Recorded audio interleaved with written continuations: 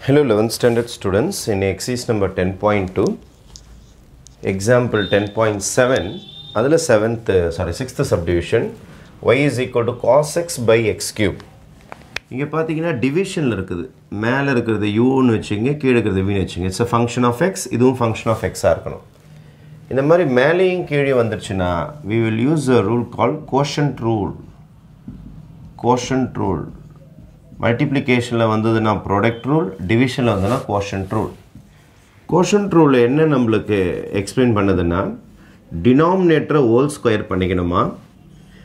We அப்படியே வச்சுக்கிட்டு யூவை டிஃப்ரென்ஷியேட் பண்ணணும் மைனஸ் யூ அப்படியே வச்சுக்கிட்டு வியை டிஃப்ரென்ஷியேட் பண்ணணும். அவ்வளோதான் வேறு ஒன்றுமே கிடையாது.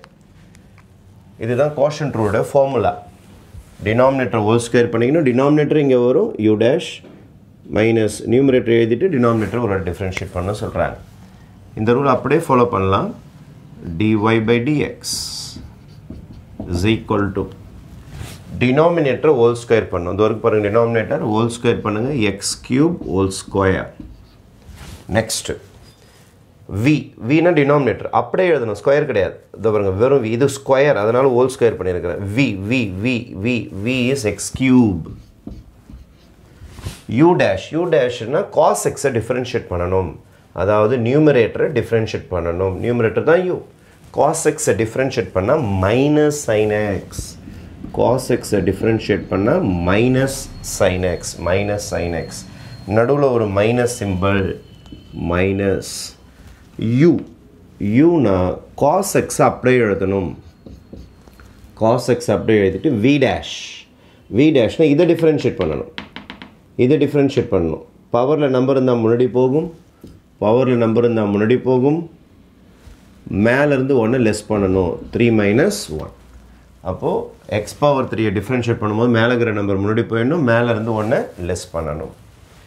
நெக்ஸ்ட்டு மைனஸ் சைன் எக்ஸ் இங்கே ஒரு எக்ஸ் கியூப் இருக்குது இங்கே ஒரு x cube minus three x square cos x all divided by x power 6 இது x power 6 ஏதாவது காமன் எடுத்தால் கேன்சல் பண்ணிக்கலாம். மைனஸ் எக்ஸ் ஸ்கொயர் காமன் எடுக்கலாமா? எடுத்துட்டா உங்களுக்கு என்ன கிடைக்கும்?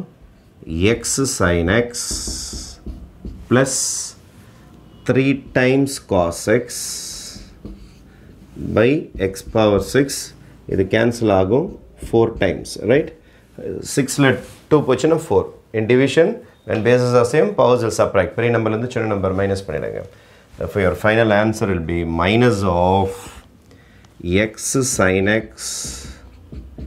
plus 3 cos x whole divided by x power 4 இதான் உங்களுடைய dy by dx this is your differentiation இந்த சம்மில் நம்ம சக்ஸஸ்ஃபுல்லாக எந்த ரூல் யூஸ் பண்ணிக்கிறோன்னா கோஷன் ரூல் யூஸ் பண்ணிக்கிறோம் quotient rule okay thank you